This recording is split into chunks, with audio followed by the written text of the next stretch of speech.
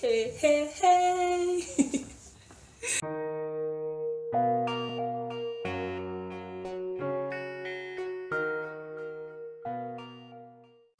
Salut les amis bah, Je te remercie déjà d'avoir appuyé sur la chaîne. J'espère que la vidéo te plaira et que tu resteras jusqu'à la fin de la vidéo. Aujourd'hui, je vais vous tourner une vidéo, donc une vidéo témoignage, où en fait je vous raconte un moment de ma vie où euh, j'ai eu un moment de faiblesse. Donc comme je te l'ai déjà dit, je suis dans une famille chrétienne. Ok, donc si tu n'as pas vu mon premier témoignage, je mettrai le lien soit dans la barre d'infos, soit je te mettrai un CF en haut de ma tête là, comme ça. Comme ça, tu n'auras qu'à cliquer pour connaître mon témoignage. Il y a deux ans de ça, euh, je priais pour la réalisation de quelque chose. Je priais parce que je voulais quelque chose et je demandais à Dieu bah, de m'accorder cette chose. Et Dieu, en fait, pendant un moment, il des vers... il me donnait des versets où j'avais des réponses qui m'incitaient en fait à garder la foi, à persévérer en ce sens, comme si que ça allait se faire, tu vois. Donc du coup, j'étais super motivée, je priais, je priais, et puis je savais que tout n'était qu'une question de temps. Mais en fait, ce temps a commencé à durer une année, deux années. J'ai dit, wow, wow, wow, Seigneur. Et je me disais, mais qu'est-ce qui se passe? Parce que je prie, je n'entends plus la voix de Dieu. Il me répond plus. Je me suis mis dans une sorte de rébellion en fait, où en fait j'étais fâchée. J'étais fâchée avec Jésus et je lui disais, bon, si tu veux pas me parler, moi non plus je te parle pas. Vraiment. J'avais de moins en moins en réunion de jeunesse. Et puis un jour, la responsable de jeunes et tout, ils nous ont proposé, donc ils faisaient un rassemblement de jeunesse, mais qu'avec le groupe de jeunes donc, de cette église. Au départ, je voulais pas aller, mais en même temps, je voulais aller parce qu'en même temps, je me disais, bah, peut-être que c'est là que Dieu va me répondre, tu vois. Forcément, tu entends beaucoup parler de Dieu durant ce week-end et tu te remets en question. Donc, je me suis remise en question et je me suis dit, bon, Caroline, euh, c'est bon, tu n'as pas 12 ans, tu n'as pas 10 ans, euh, tu vas pas faire la tête à Jésus. Allô, qui fait la tête à Jésus? Donc, je suis allée dans une salle à part et puis j'ai commencé à prier. Je sais pas pourquoi d'ailleurs, parce que j'étais partie dans un sens où je m'excuse Jésus. Mais malgré ça, il y a une pensée qui vient dans ma tête et qui me dit, ça se trouve, Dieu n'existe pas. Et les réponses que tu croyais avoir de Dieu, c'est toi qui les as imaginées parce que tu es né dans cet environnement chrétien, tu as toujours été à l'église. Et bon, voilà, j'ai accepté cette idée. Je me suis dit, mais c'est vrai? Non, mais vraiment, les gars.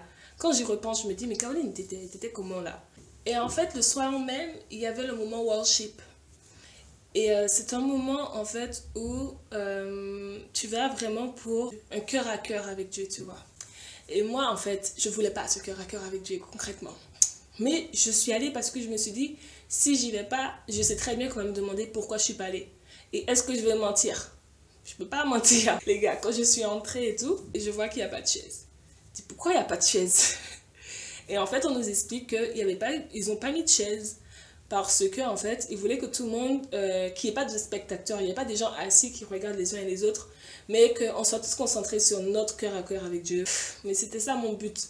Mon but était de prendre ma chaise de m'asseoir au fond et bah, d'attendre que ça se finisse tu vois. Ils ont dit qu'ils vont commencer à chanter un chant et c'est un chant qui parle de l'amour euh, l'amour fraternel et ils disaient que bah, pour commencer ce serait bien qu'on se donne la main ceux qui veulent. Et donc je vois à droite ils se donnent la main à gauche ils se donnent la main et il commence à chanter.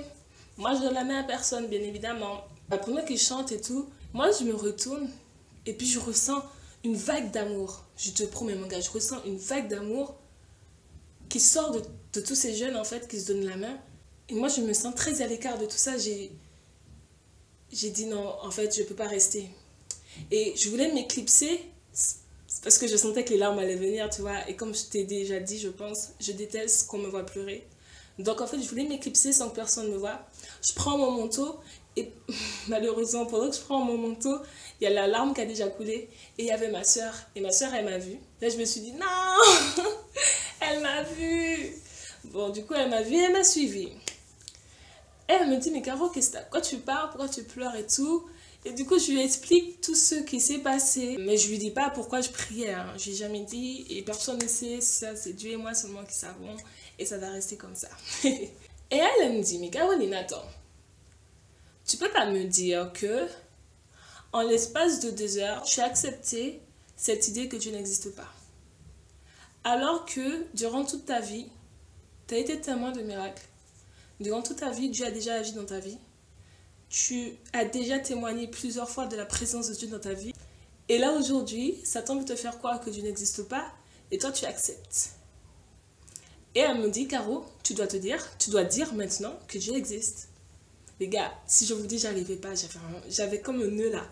Je pouvais pas dire. Non pas que je croyais pas que tu existais, parce que quand elle me disait ça, là, j'ai vite repris la raison, tu vois. C'était surtout que j'avais honte. J'avais honte de moi, j'arrivais pas à le dire. Et elle m'a dit, Caroline, de toute façon, je ne pars pas tant que je ne t'ai pas entendu dire que Dieu existe.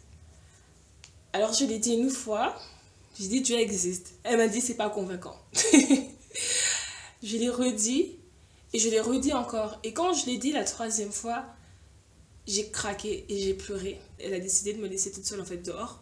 Je peux même pas décrire ce qui s'est passé ce soir-là dehors. Tellement en fait j'ai été comme... Euh, je peux même pas te dire un mot. Mais c'était un moment fort en émotion. Tu vois Très fort en émotion. Tellement que je sais même pas s'il y avait du monde dehors. Je sais même pas si... Pour moi en fait il n'y avait rien autour de moi. Et après, je me suis dit, bon, je retourne euh, dans la salle avec les autres jeunes. Et là, franchement, encore une preuve que j'existe. Hein. parce que quand j'entre dans la salle, j'entends les jeunes, ils chantent Oui, je crois en Dieu notre Père. Oui, je crois en Christ son Fils. En fait, cette chanson-là, les gars, elle est devenue tellement importante pour moi. Cette chanson-là, je, je l'aime tellement. À chaque fois que je chante cette musique, j'ai des frissons qui me montent aujourd'hui en fait. J'arrive, je, je, me mets avec tout le monde et tout, je me mets debout. Et j'ai toujours un peu honte de chanter parce que je me dis, il y a deux, il y a deux minutes, tu disais que je n'existe pas. Et j'ai commencé à chanter debout. Et euh, pendant que je chante debout, en fait, il y a, une espèce de force qui, qui vient sur moi, comme pour m'agenouiller. En fait, j'étais debout et je me suis écroulée à terre à genoux. Et là, j'ai commencé à chanter encore.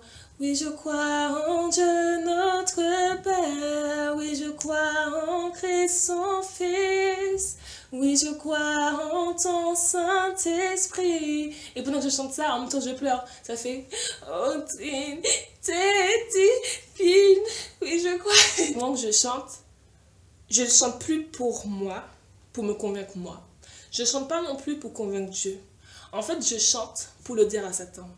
Je le dis à Satan, je crois en Dieu, je crois en Jésus, je crois que je suis la fille et je crois que je suis co-héritière du royaume des cieux.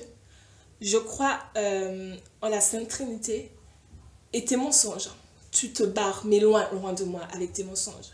Et je ne comprends pas, jusqu'à aujourd'hui, je ne comprends pas comment j'ai pu imaginer ça en l'espace de deux heures.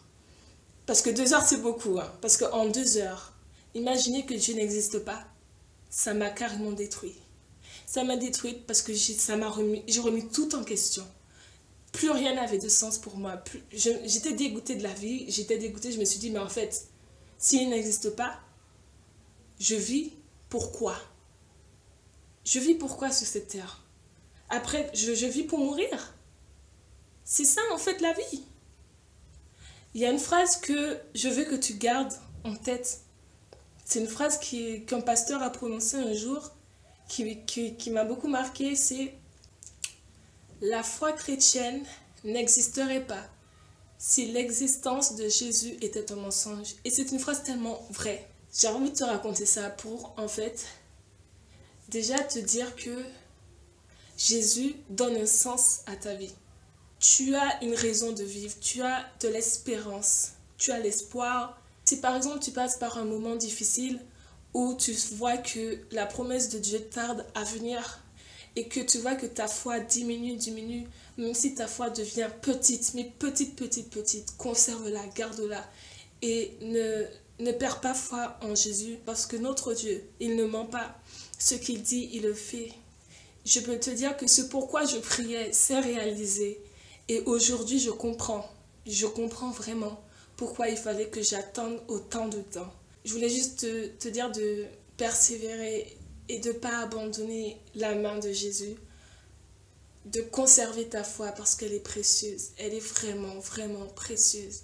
Alors je vais te laisser sur ces derniers mots et je te souhaite que Dieu te bénisse. Bisous l'ami.